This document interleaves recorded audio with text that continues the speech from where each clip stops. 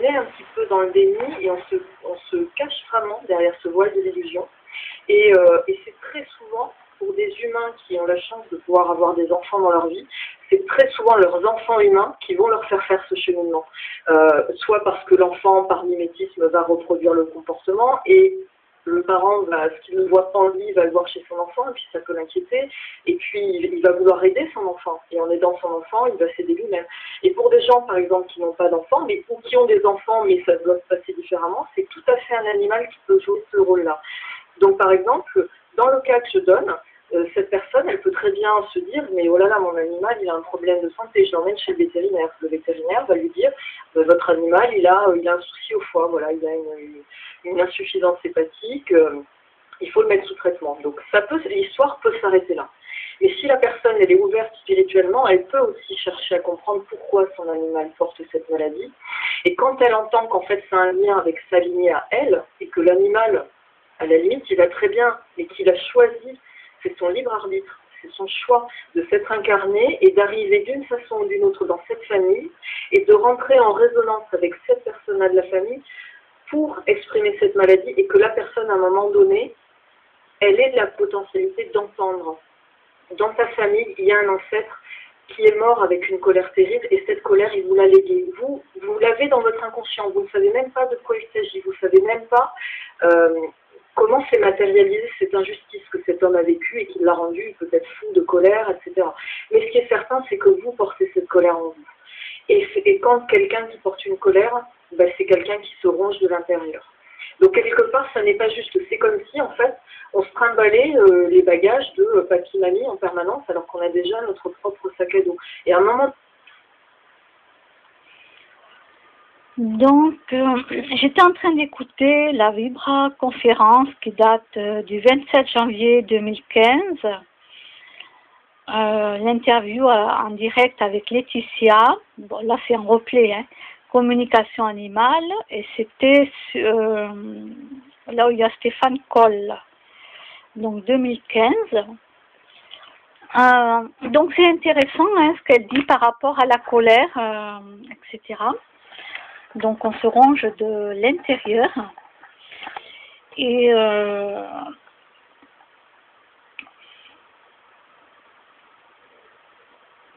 et à un moment donné, il faut en prendre conscience. Euh, il faut prendre conscience que euh, pourquoi on va se mettre tout le temps en colère. Quand est-ce qu'il faudrait qu'on arrête de se mettre en colère constamment euh, disons qu'il y a du cheminement à faire.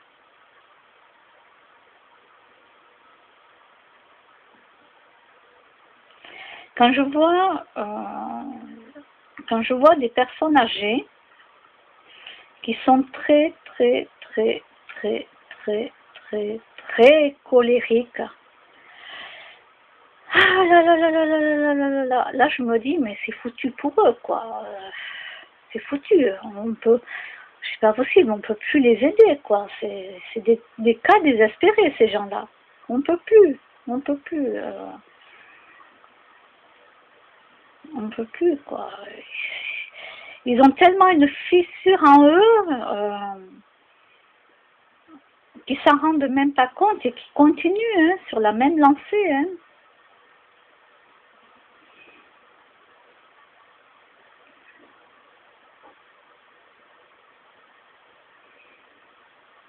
Voilà, aujourd'hui j'en ai rencontré un là qui, qui est à la retraite. Moi, alors,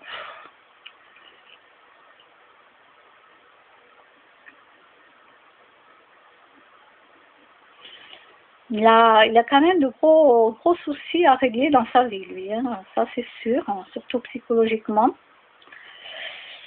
Et, il est là, et toujours, toujours, et toujours, et toujours en train de gueuler, si et ça. Oh là là. Quand il me voit, c'est encore pire alors que j'ai rien dit. Oh, oh j'ai rien dit, je vais laisser gueuler, là. Je sais pas ce qu'il racontait, là il était avec sa, je dirais pas qui. Euh, disons que je vais rester poli. Et euh,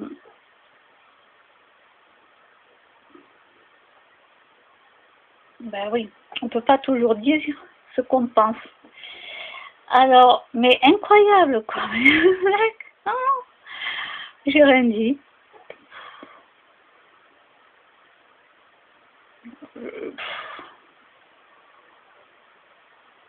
C'est incroyable quoi. Quand, quand quelqu'un a un truc dans la tête, de toute façon, arrivé à leur âge, c'est foutu quoi. Euh, c'est foutu. On, on peut rien faire de plus. Alors à la rigueur, les jeunes, en grandissant, on peut arriver à les aider. Il y en a beaucoup quand même euh, qui ouvrent les yeux, qui s'en rendent compte. Mais alors, les vieux.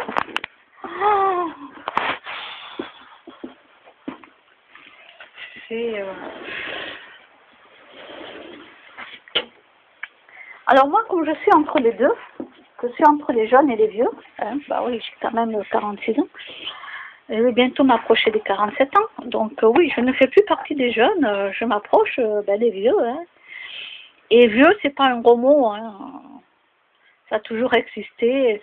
Oui, je crois qu'il faut dire maintenant personne âgée.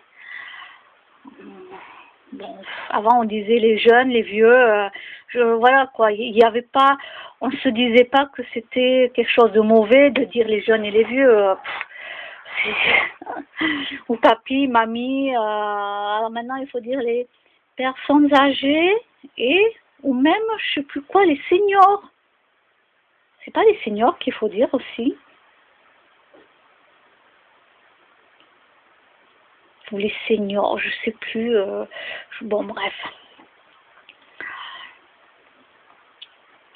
Voilà, donc moi tranquillement, euh, je Hop, je sors, je fais ce que j'ai à faire, après je rentre. Euh. Voilà quoi.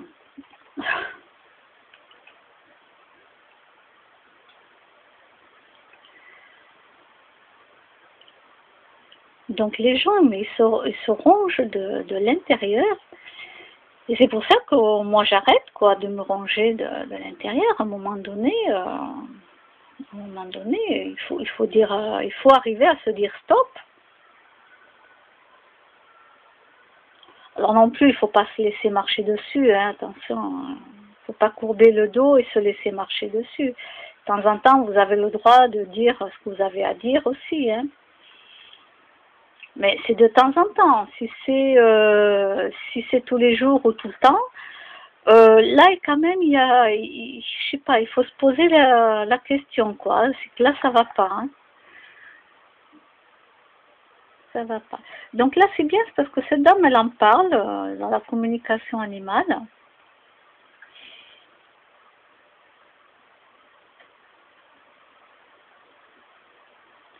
Et souvent, je refasse la poussière.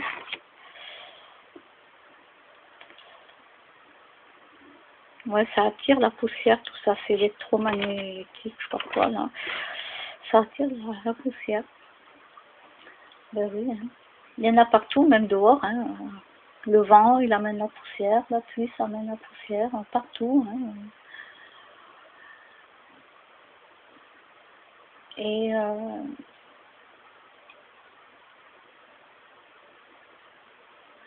des fois, il y a des gens qui ont euh, qui ont un animal qui est carrément instable. Il est instable, ils ont beau lui gueuler dessus, euh, toujours instable, instable, mais ils se rendent même pas compte que eux-mêmes sont instables. Ils sont carrément instables, ces, ces humains, ces maîtres, de, les maîtres de ce genre d'animal, de, chien surtout, qui est instable. Euh, alors bien sûr, il n'a pas eu l'éducation qu'il fallait, euh, mais après c'est trop tard. Euh, mais ce qu'il y a, c'est que le maître par lui-même, s'il est instable, il ne se rend pas compte que l'animal est là pour lui montrer qu'il est instable. L'être humain ne le sait pas puisqu'il n'a pas l'esprit ouvert là-dessus.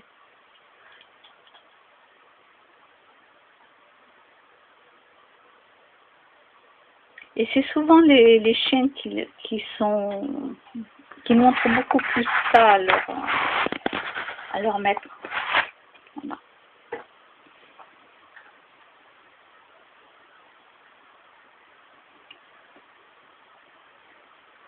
Après, euh, chaque animal aussi a son propre caractère, a son propre esprit, a son propre vécu à la naissance ou la gestation, euh, pendant la gestation de la maman, euh, sans compter sa vie antérieure,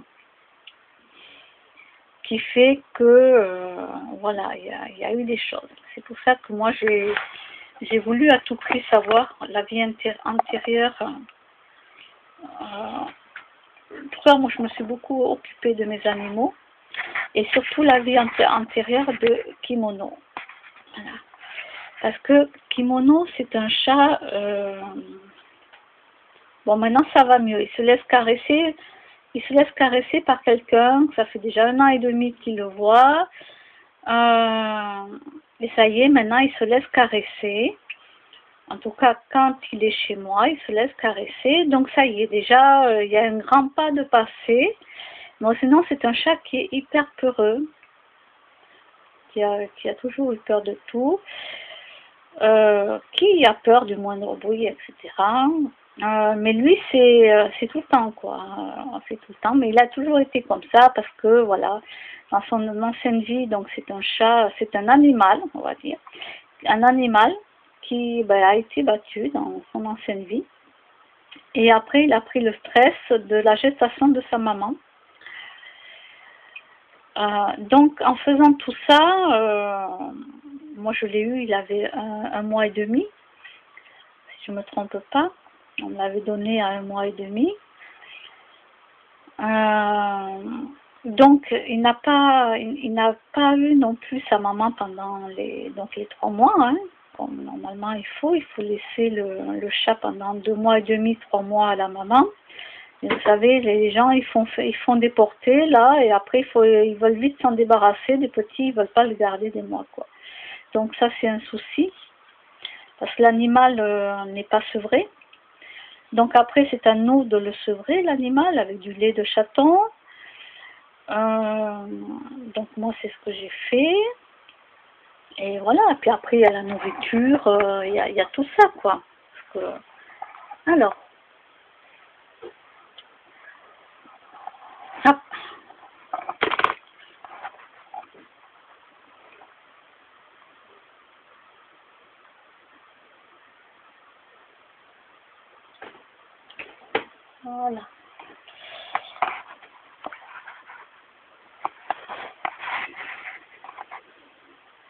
Bon, ben mes chats, ils sont au chaud, là. Ils sont à l'intérieur. C'est le moment de la sieste. Là, ils sont, couchés, là. Là, j'ai Kimono qui, est allé se coucher, ça y est. Mimi adore. Mon chat Mars, il est à moitié endormi, puis il se demande pourquoi je fais pas la sieste. Oui, normalement, je dois faire la sieste, mais j'ai une copine qui va venir si je commence à dormir, si je suis, si réveillée alors que je dormais, euh, j'ai pas un bon réveil, quoi. Je me sens pas bien. Moi, je me sens pas bien, il faut que j'ai un bon réveil. Euh, donc, je préfère ne pas me coucher, comme ça au moins, je, ça me coupe pas le sommeil. Et voilà, donc j'ai fait beaucoup de choses pour Kimono et du coup euh, j'ai pu donc comprendre le pourquoi des choses. Euh, j'ai pu donc m'habituer à ses habitudes à lui, à le, donc parce que je le comprenais beaucoup mieux. Euh, donc je l'ai souvent rassuré je faisais des, gestes beaucoup plus doucement. Voilà. Euh, parce qu'avec lui, il fallait que je fasse des gestes beaucoup plus doucement. Que Mars, lui, s'en fout. Hein. Je fais un geste, je, je prends un, truc, euh, je fais ma poussière et tout. C'est normal, quoi. Je veux dire, Mars, il s'en fout, mais royalement. Alors que Kimono, bon, maintenant, il, s'habitue, hein. Il s'habitue de plus en plus. Euh, mais voilà, quand il est là, que je le vois, il faut que je sois un peu plus, euh, plus doux dans, dans mes gestes. Donc ça me permet d'être, euh, grâce à lui, ça me permet d'être plus zen. Zen. Euh, donc un peu plus posé parce que je dois réfléchir que y a Kimono qui est là, qui me regarde, il est pas loin, que je dois faire attention à lui et que du coup ben je vais pas faire vite vite vite vite vite hein, euh, euh, pour faire le, le ménage. Donc je prends mon temps. En plus, chaque fois, il faut, donc pas chaque fois, non, mais souvent, je me dis, pourquoi est-ce que tu es toujours en train de courir pour faire les choses? Parce que j'ai gardé cette habitude-là euh, au travail. Au travail, il fallait être rapide et, puis surtout bien travailler. Hein. Parce que si vous êtes rapide et que vous travaillez mal, hein, euh, ça marche pas. Hein. Ça marche pas, je préfère vous le dire. Donc, euh, donc c'est vrai que j'étais euh, assez rapide dans, quand je travaillais, donc j'étais très rapide, euh, c'était propre, nickel, on n'avait rien à me reprocher. Puis en plus j'avais une conscience professionnelle, donc c'était pas à moi qu'on allait me dire qu'il qui manquait une serviette ou un rouleau de papier ou ci ou ça. Non, non, le dessus des étagères était fait, en dessous le lit, tout, tout, tout j'avais une conscience professionnelle, euh, voilà quoi, je veux dire, euh, je ne me posais pas de questions quoi, je ne me posais pas de questions.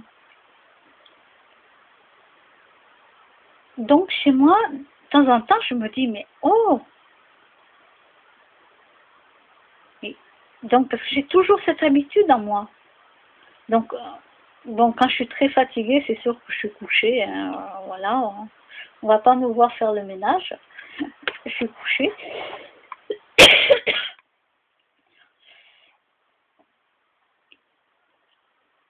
Mais sinon, euh, oui, je fais le ménage comme tout le monde. Hein. Et, euh, et souvent, je dois me freiner. Je me dis, mais oh, mais qu'est-ce que tu fais là? Tu travailles pas. Stop. Pourquoi tu cours? T'es pas dans une entreprise en train de bosser, quoi. On va pas, va pas regarder tes heures. Oh, stop, t'as le temps. J'ai le temps. Je me dis, si je fais pas tourner ma machine à laver aujourd'hui, je le ferai demain. Je suis obligée de me freiner.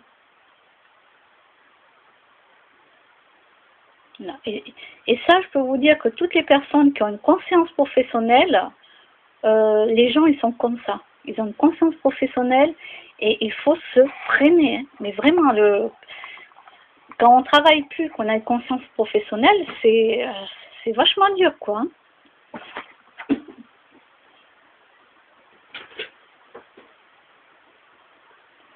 Donc voilà, moi je me freine. Euh.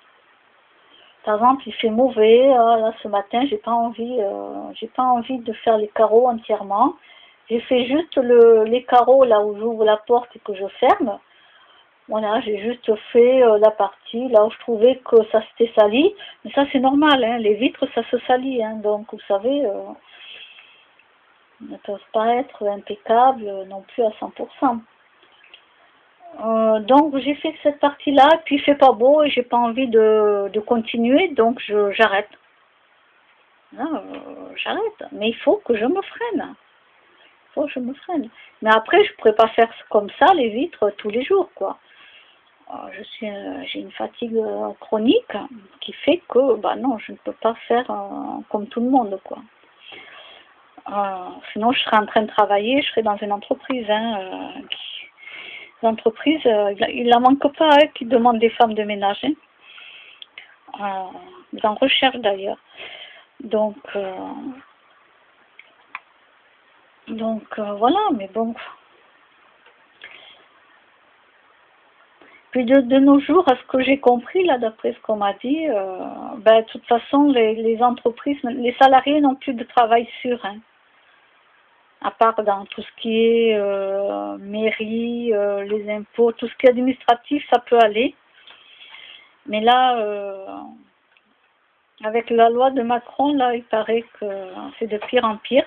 Bon, ça, je le savais déjà, mais là, c'est en, en, en vitesse grand V. Voilà. C'est en vitesse grand V. Ça va plus vite même que je le croyais. Oui, oui, parce qu'il y en a des fois, oui, comme je regarde pas les informations, euh, des fois on me le dit, on me dit, vous avez pas vu ça, tu as pas vu ci. Fois j'ai une copine, elle vient, ah oui, mais alors il y a eu ça, il y a eu ci. Ah non, je suis pas encore au courant, je, je vois pas tout sur internet, euh, je, je vois pas mal, mais pas tout. Donc voilà, que je veuille écouter les informations ou pas, de toute façon on me les donne. hein. Allez mon kimono, il va se recoucher, il est allé manger un bout, il est content. Hum, D'ailleurs, moi, là, il est 13h11. Euh, Qu'est-ce que je vais manger? Des frites? Ouais, j'ai acheté des frites surgelées pour les faire cuire au four. Donc, je sais pas. Est-ce que je fais ça? Est-ce que je me fais ma petite soupe aux légumes, là, euh, qui m'attend? Euh, déjà toute prête. Euh, ou est-ce que je reste à jeun jusqu'à ce soir 18h euh, Bon, je sais pas. Je sais pas. Bon, ben avec tout ça, voilà, communication animale et ben, ça permet de parler aussi de l'être humain. Et oui, oui. Et, en plus, c'est pas moi qui l'invente, hein, je veux dire. Il y a quand même des gens qui, qui en parlent. Donc moi, je fais que redire un petit peu ce que j'ai entendu, ce que j'ai appris. Euh, et puis voilà, après, est-ce que ça sert à quelqu'un? Ben, j'en sais rien. Si ça sert à personne, ça sert à personne. Moi, au moins, j'ai appris quelque chose. Voilà. En plus de ce que je savais, hein, bien entendu. Et j'ai encore des choses à apprendre. Hein. Euh, c'est pas fini. Hein. Non, non, je, je vais de découverte en découverte. Et j'en profite tant que pour l'instant YouTube n'enlève pas toutes les vidéos. Euh, sur Facebook, je ne sais pas plus tard ce que ça va devenir Facebook. Est-ce que Facebook euh, va suivre ou pas? Euh, Je ne sais pas. Pour l'instant, sur Facebook, j'ai rien entendu de particulier, donc euh, je ne sais pas. Pour YouTube, oui, ça y est, on est, au courant, ça c'est sûr. Euh, mais Facebook, ça, j'en sais rien du tout. Pour l'instant, voilà, moi je partage beaucoup de choses sur Facebook. Euh, un peu moins maintenant parce que je suis en train de réduire. Euh, mais sinon, euh, comme je dis, il faut en profiter maintenant qu'on a Internet. hein. Il faut, il faut en profiter. Prenez les connaissances. Amusez-vous aussi. Regardez des dessins animés, des films, des feuilletons. Voilà, faites-vous plaisir. euh, Amusez-vous. Voilà. Allez, je vous laisse. Bye bye.